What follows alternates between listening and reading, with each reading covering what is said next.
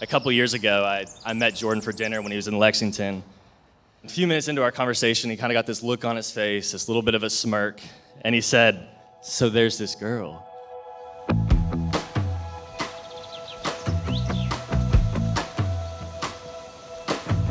Honestly, he really didn't have to say anything else because the tone of his voice and the look on his face said it all. And after meeting you a few months later, Kaitlyn, it really confirmed. I know exactly why Jordan felt the way he did that night.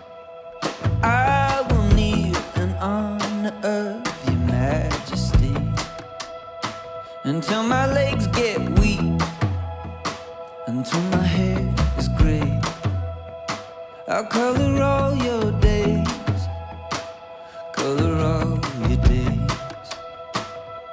So I am Kim. I'm Kaitlyn's sister and maid of honor. And I am so happy for you that you finally have a last name that people can pronounce. You walk in the black I wait.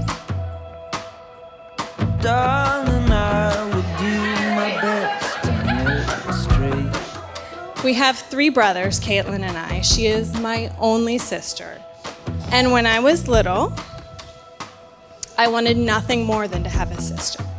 For years, I had an imaginary sister, someone that I shared a room with, and played dolls with, and could tell all my secrets to. And then one day, right before I turned 12, Kaitlyn was born. And I was so excited to finally have a sister. But it was so weird. As a newborn, Kaitlyn was not really into telling secrets or playing with dolls. And I realized that I was not going to get the sister that I had always imagined. But as it turns out, the plans that God has for us are always so much better than the plans that we make for ourselves.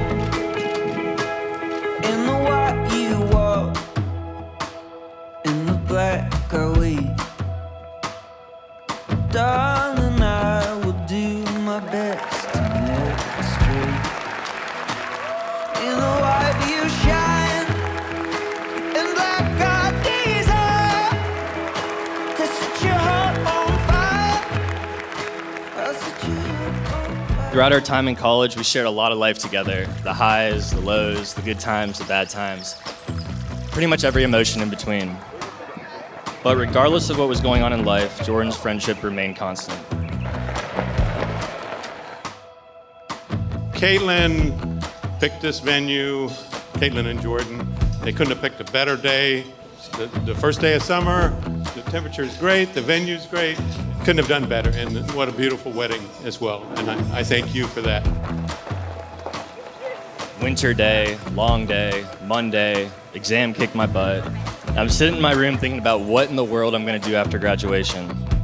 Then all of a sudden I hear footsteps, the keys, and the door open. And in those moments, when things felt rather bleak, I never once would have rather been alone.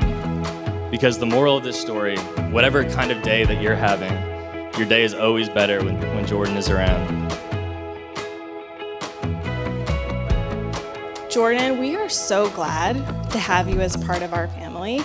And we are so thankful that Kaitlyn had the patience to wait for the one that God had planned for her. Someone who shares her values, who takes great care of her, and who makes sure that she knows she is loved exactly as she is.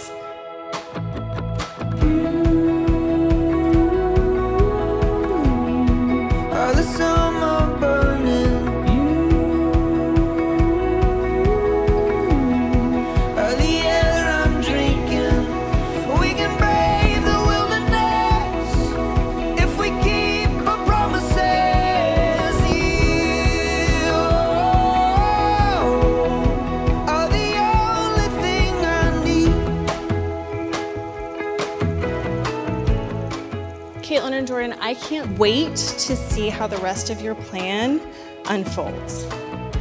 No matter what comes your way, even if it is not as you always imagined it would be, have faith that whatever God has planned for you is far better than any plan you could ever make for yourselves. I love you both, and I wish you all the best. I hope that you relish in the little moments of hearing the keys at the door, regardless of what kind of day either of you have had, because I promise that such a sound merely marks the beginning of new memories and a good time. I love you both so much, and if everyone would please join me in raising a glass to Jordan and Kaitlyn, may God bless you as you start your life together in every way imaginable.